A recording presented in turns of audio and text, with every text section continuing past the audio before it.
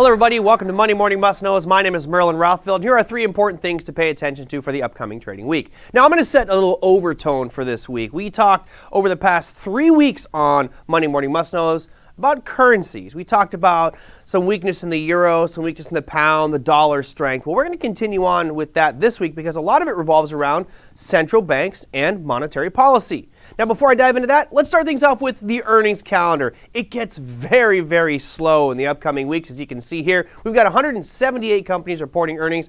That's a far cry short of the 1,000 plus we've been seeing per week but we do have a couple big names specifically early on in the week. We start things off on Monday with Urban Outfitters, Agilent, Keysight Technologies, and the social media or web conferencing company Zoom. Yes, a lot of pessimism out there with regards to Zoom. We'll see how their earnings come out.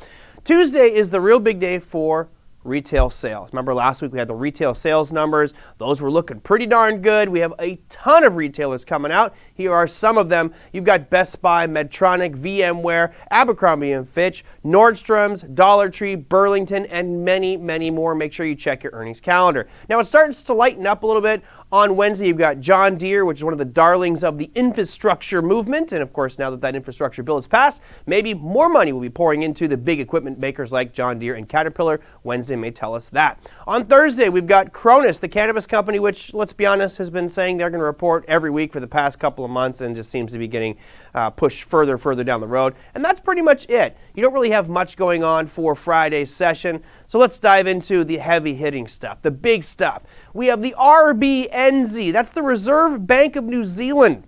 Now, I know you're thinking, New Zealand? Are they a real major market mover? Well, maybe they're setting the tone for the rest of the world. Why? Well, if you notice here, it says rate statement plus 0.75%. Now, we're going to take a peek at a chart here, but on Tuesday at 8 p.m., all right, that's a nighttime thing for you Forex guys, maybe even you cryptocurrency traders, that's when that announcement happens. Now, here's a chart of the uh, New Zealand interest rates. And as you can see back in 2008 and 9, yeah, they were slashing their rates as every country was in the world to help with the financial crisis. Now, you move forward to the pandemic in 2020, and you can see they pretty much dropped to zero, just like the US and many other countries have done. But what's noteworthy here is all of a sudden, on that hard red edge, they've started to raise their rates. At the previous meeting, they increased by 25 basis points to now one half of 1%.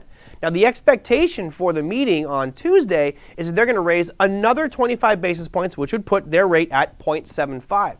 However, there's talk tracks that it might be even higher, a 50 basis point increase. Well, why would they be so aggressive in raising their rates? Because they're trying to reduce demand in their economy. Why? Because inflation in New Zealand is out of hand.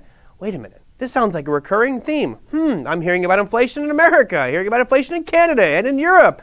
Wait a minute. Is this a global pandemic of inflation? It could very well be. So keep your eye on New Zealand because they have a target of 3% is the upper threshold for their inflation numbers. Right now, it's at 4.9. So they're raising their rates to help slow down their economy and hopefully bring those inflation numbers down. Now, why is this important to you and me? Why am I talking about New Zealand? Well, because America is in the exact same situation right now. We have inflation is surging, our rates are pegged near zero, so keep your eye on New Zealand because we may be following their lead shortly. All right, our final piece of the week is going to be United States. That's the United States of America GDP numbers. And again, as you can see on this chart, we've had some phenomenal GDP over the past three quarters. You see those nice big blue bars there. We'll take out the big outliers up and down. But notice the last three on that hard red edge. You can see it sitting at 6.6% right now. That's higher than it's been for the past 12 years. And of course, when you pump in the trillions of dollars we have, you would expect there to be a pop in GDP numbers. Again, if this GDP continues to accelerate, what that could lead to is higher inflation and therefore put pressure on our central bank in the United States and Jerome Powell to say, you know what, we're going to have to raise rates a little bit sooner than expected. As you know, we've just started tapering, and that means they're cutting back on their purchases of short term treasuries and mortgage backed securities two things that have been propping up the bond market as well as the housing market. If those purchases start to slow down, we remove a little bit of the backstop, which has been pushing markets higher. Therefore, we could see increased volatility going forward. That, my friends, is your Monday morning must knows. We'll see you next week.